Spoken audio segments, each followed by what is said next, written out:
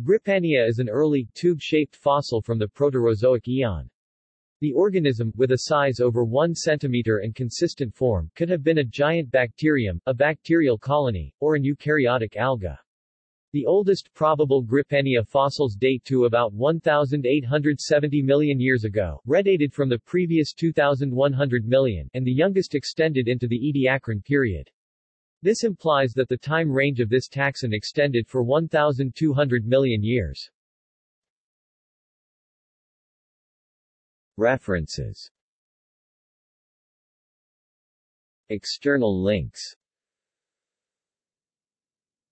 Grypania spiralis, scroll down, in Major Events in the History of Life